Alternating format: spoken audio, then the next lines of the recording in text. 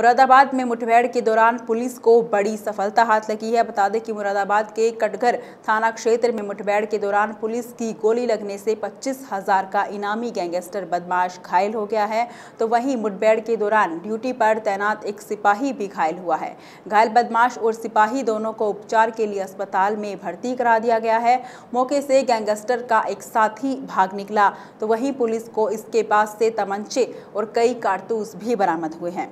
दरअसल कटगढ़ थाना क्षेत्र में पुलिस की टीम लेपड़ गश्त गश्त कर रही है, तभी अचानक से बाइक सवार अज्ञात बदमाशों ने पुलिस को अपनी ओर आते देख पुलिस टीम पर फायर करने लगे। थाना कटगढ़ क्षेत्र में अभी एक मुठभेड़ हुई है। हमारी पुलिस पार्टी वहाँ गश्त पर थी, हमारी लेपड़ उधर से जा रही थी। उसी समय सामने से बाइक सवार आ रहे थे, उसको जब रोका गया तो उन लोगों ने पुलिस पार्टी पर फायर किया। इसमें हमारा एक जवान वो गिर गया वहाँ पर, जैसे गिरने से उसे कुछ चोट आई है। जवाबी फायरिंग पुलिस की तरफ़ से की गई तो उसमें बदमाश घायल हुआ जिसके पैर में गोली लगी है।